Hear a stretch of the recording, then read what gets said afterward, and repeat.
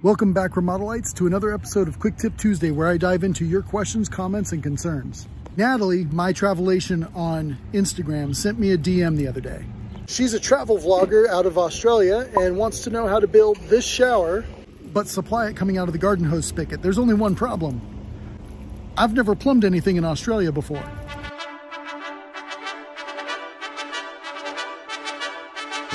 But I love a challenge, so here's what I'm gonna do. I'm gonna explain how to do it with American fittings, and then I'm gonna explain how to translate that to the fittings one might use in Australia. So let's get into it.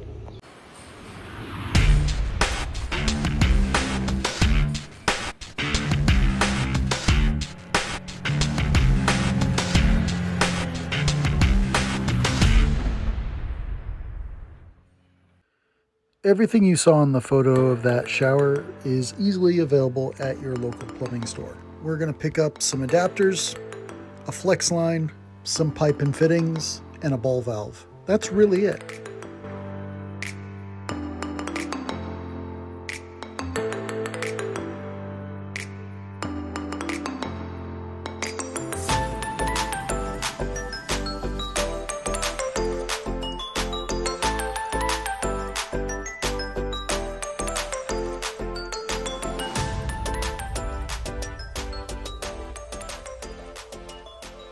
We'll start with the standard issue garden hose bib. I chose to use a garden hose Y so I could split the flow. That way the garden hose is still usable even though we're going to hook up a shower to it. As you can see, the half inch threads for the supply line do not match up to the three quarter garden hose threads, so we're going to need an adapter. Here's where this comes in. This particular adapter is three quarter female garden hose thread by half inch male iron pipe, and that threads on very nicely. Now pay attention kids, this right here is exactly why you don't want to be the star and the cameraman. You see that piece? That is a half inch brass nipple and it is male threads on both sides. I'm threading it into the other end of the supply line, which you cannot see because I was off screen. Because, as I said, I am both the star and the cameraman. At the other end of that nipple, I'm threading in a ball valve, which was going to be our on-off for this cold-only shower. Now I'm threading in a half inch SharkBite male adapter. One end threads into the ball valve, the other end we're going to push in some copper pipe. I chose copper for the aesthetic as well as the rigidity. And I chose SharkBites because they require no specialty tools to install and when I'm done I can put these parts back. You can see how easy these things snap in. No soldering or specialty tools required. At the top of our structure I put a half inch SharkBite drop ear elbow another length of pipe, and then a half inch by male thread elbow. And with that, you can thread on your desired shower head, anything from a little old cheapo like this to some sort of big giant rain head or anything in between. I'd recommend the use of one of these half inch bell copper hangers to secure your pipe to a wall or stud. Remember our friend the drop eared elbow that we put at the top? Well, you can use that to secure it to the wall the ball valve at the bottom turns things off and on.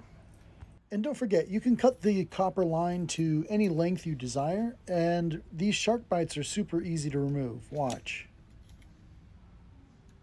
Squeeze and pull.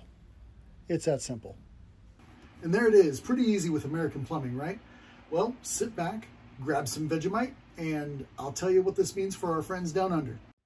When comparing the Australian and the United States hose bibs, it should be glaringly obvious, even to the untrained eye, that these two hose bibs are not identical. Those threads at the end are not the same. This is because while the United States uses National Pipe Thread or NPT, Australia uses BSPT or British Standard Pipe Thread. Now, the good news is, according to plumbingsales.com.au, it looks like SharkBites are available in Australia. It looks like in this case you're going to be using 15 millimeter fittings. So Natalie, it looks like all you have to do is go into your local hardware store. So Natalie, the missing link here is getting a fitting that's going to reduce from the garden hose to a 15 millimeter fitting.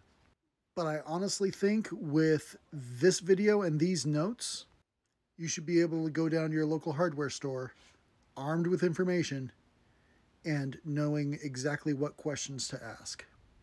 Thanks for watching. I hope you got some good information out of that episode. Go ahead and click here for more videos. Go ahead and click here to subscribe. And make sure you check out the description below for relevant links to some of the products that we discussed today. And leave your comments and questions down below because I love answering them. As always, I'll see you in the next one.